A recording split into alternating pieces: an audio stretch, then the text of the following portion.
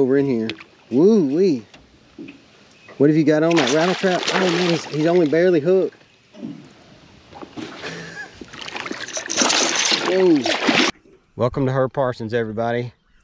Got my dad with me here today. We're fixing to try to catch some of these hybrids that they've been stocking in here. Let's get with it.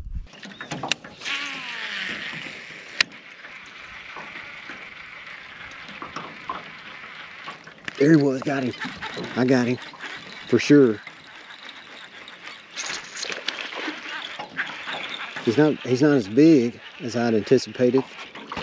Oh, it's a large largemouth.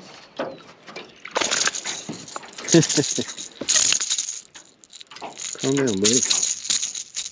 Wow, he is hot. That fish feels like 900 degrees. Would you say the slot limit was? 14 to 18. He is like a quarter inch shy of 14.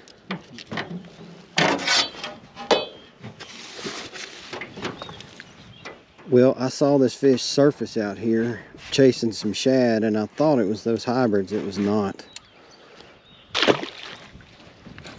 Man, I thought we found them.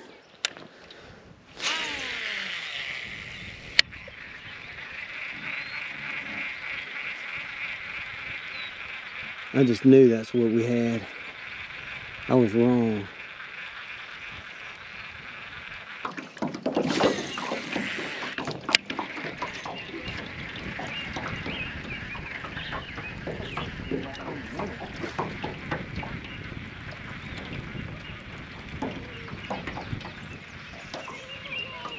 Got him right there. Look at that. Got him. That's a large now.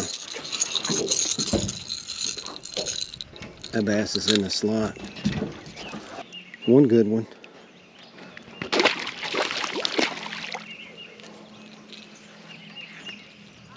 Water's so much more shallow than other lakes. The water's hotter.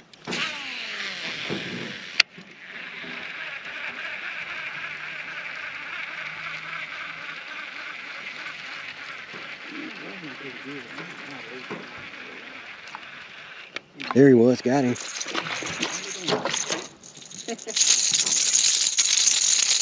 Whoa.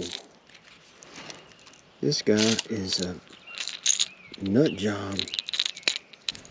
That fish was not coming off, and he was almost the same size as my bait.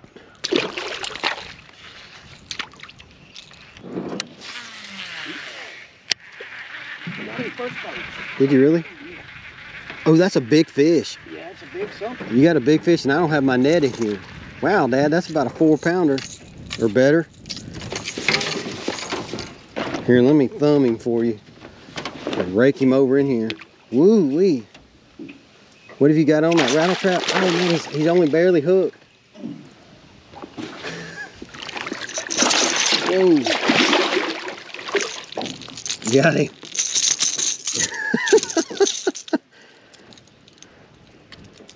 First Oop. throw. First throw on the rattle trap. Here, hold that big dude up. Oh, ain't he pretty? With your Mary Poppins hat on. Yeah. That's a Donkey Kong. Yeah, that's the biggest bass I caught in years. Hey, this thing, that fish was right up the bank. Oh yeah, look at that.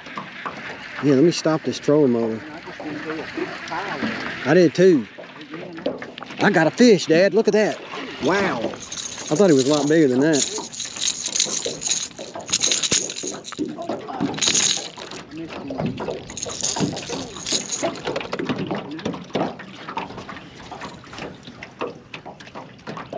Well, I landed that one.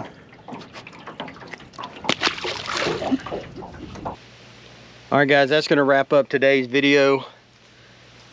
We were not able to catch one single hybrid at Herb Parsons today.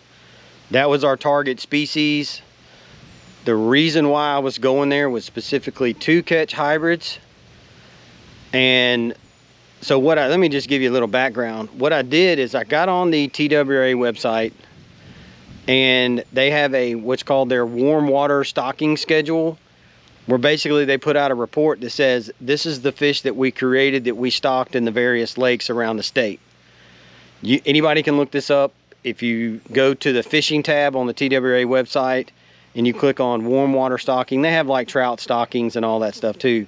The warm water stockings, that schedule is going to tell you where they put catfish, where they put crappie, where they put walleye, where they put largemouth bass, where they put hybrid striped bass, all of these things.